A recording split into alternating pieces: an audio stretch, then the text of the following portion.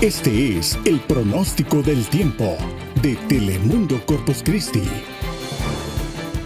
Vamos a hablar de algo importante que nos preocupa y es la visibilidad que se limitará durante la noche y en horas de la madrugada, ya que como habíamos mencionado anteriormente, un incidente sucedió en horas del amanecer y es que es muy típico, cuando tenemos poca visibilidad y no mantenemos una distancia prudente entre un vehículo y otro, los accidentes pueden estar a la orden del día. La visibilidad durante esta noche en horas de la madrugada va a estar limitada, sobre todo en sectores al interior, en la zona de Alice, visibilidad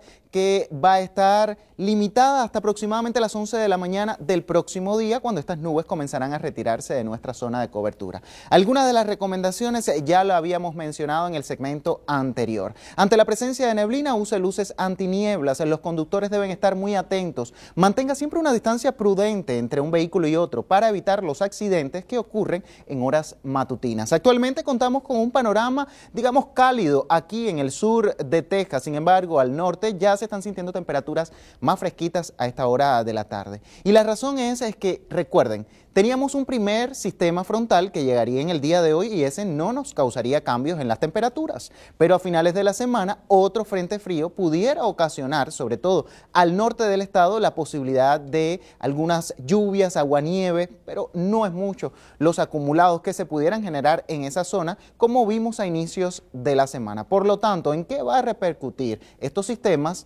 en nuestra zona costera? Pues aire seco y frío que llegará a partir del lunes, en la próxima semana, las temperaturas se van a sentir muy frías, incluso en algunas zonas. Las temperaturas pudieran descender cerca del rango de congelación, que son 32 grados. Echemos un vistazo a nuestro modelo de temperaturas. 82 grados tendremos para el viernes en horas de la tarde, pero ya en la transición del sábado y domingo comenzarán los cambios de temperatura. Si usted es de los que les gusta planificar, para la noche de vísperas de Año Nuevo tendremos un pronóstico muy agradable con cielos parcialmente nublados y temperaturas en el rango de los 70 grados. Pero aquí es donde usted va a observar los cambios para finales de la semana.